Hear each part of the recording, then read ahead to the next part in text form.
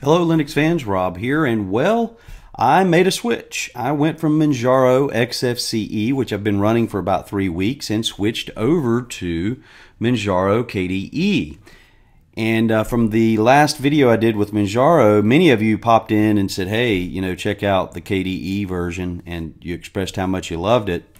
And through some of the polls and things too, I was getting a lot of feedback uh, on the popularity of the KDE edition of Manjaro. And of course, being a Plasma by KDE fan, I uh, decided to make the switch. Now, I didn't switch over because I had an issue with the XFCE edition, or the, I'm going to call it the default or proper edition. Had no issues whatsoever. In fact, there was nothing about the operating system uh, at all that made me say, hmm, maybe I need to check out something else. I did not have update issues, did not have hardware issues. Uh, the system was running very smooth and fast. It's just that with a lot of feedback from you, the viewer, and you know, again, I'm a huge KDE fan. I just decided to make the switch, so I installed a fresh version last night, and uh, so you know, high marks to the XFCE edition. I would recommend this now after my three week run here. I would recommend this really to anyone. I would recommend it to you if you have, you know, older hardware. I would recommend it to you if you were new to Linux and uh, or maybe you're wanting to upgrade upgrade someone in your family to Linux. And yes, I said upgrade because um, I think uh, this is a stable enough, uh, well thought out, and put together enough operating system to recommend across the board. So, um, all right. With that said, I was I've been, and this this is going to be some of the rambling. So uh, maybe I'll title this video "Ramblings About Manjaro" or "Ramblings About Manjaro KDE." So, being a big fan of KDE, I've been a little disappointed here with this install. I haven't changed a lot. I've um, I've updated a few things, but all right, let me go ahead and jump over and, and just talk for a minute about some of the issues so one of the issues that I have had, and this is nothing major, it's just uh, aggravating, is with Wi-Fi. So at first boot or cold boot from a cold boot, what will happen is the Wi-Fi tries to connect too soon. You'll go through a disconnect uh, round and then it'll kind of circle back through and try to reconnect. Sometimes that's successful, sometimes it's not. Typically uh, here, and this is just again over the past day, I guess day, uh, every time I boot, it's a cycle, and you know, eventually by the third try, it will connect. So I'm going to look into that. That's again, it's aggravating, but it's not something that would be a total deal deal breaker. Didn't have that at all on the XFCE version. The other thing I want to talk about is the boot up time. And uh, from cold boot, I and don't have numbers on this. I didn't put a stopwatch to uh, XFCE or the KDE version, but the uh, the boot time in the KDE version seems significantly slower, maybe 50% slower than the XFCE version. I'm not going to blame that on KDE.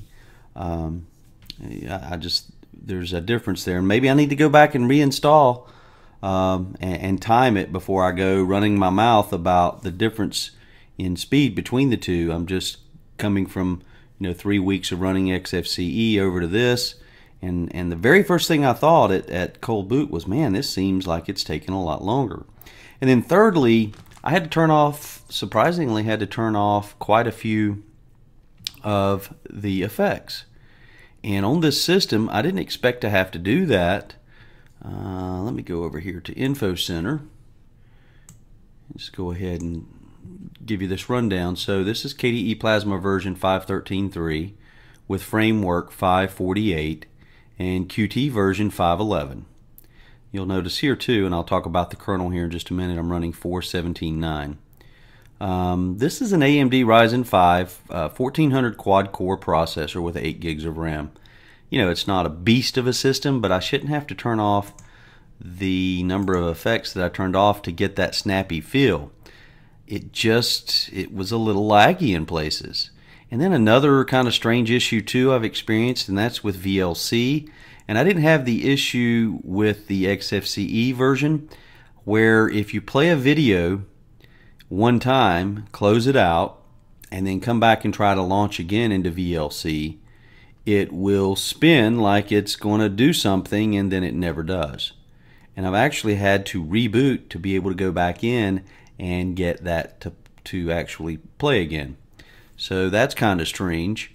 Uh, let me jump over here and we'll go into system settings and I'll just show you here. We went to um, desktop behavior under desktop effects and so I turned off blur. I turned off fade. I turned off translucency. Maybe that was it. Maybe only maybe I only turned off three. But again it just and it didn't make a difference. It's snappier now but I, I just laggy enough really that I thought okay what's going on here? And that's when that led to and now you know why this is a ramble. I'm all over the place here let's go to Manjaro settings manager.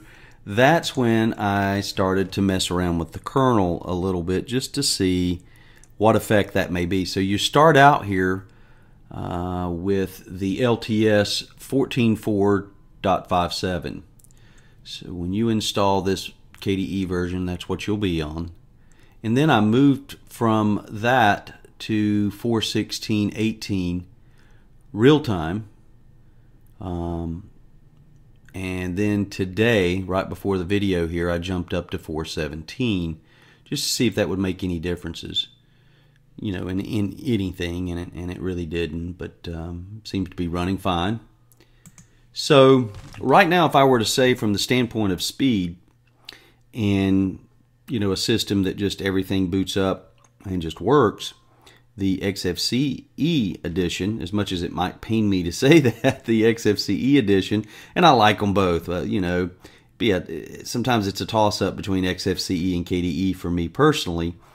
Uh, but I have to give the nod to the XFCE version because of some of the, you know, these issues. Now, none of this would be a deal breaker as far as being able to run the system.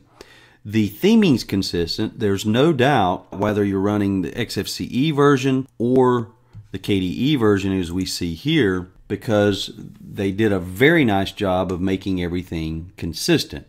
In fact, we'll just take a quick look at, uh, at the two here. So we'll show the XFCE menu and desktop, and then we'll show the KDE menu and desktop as you see here.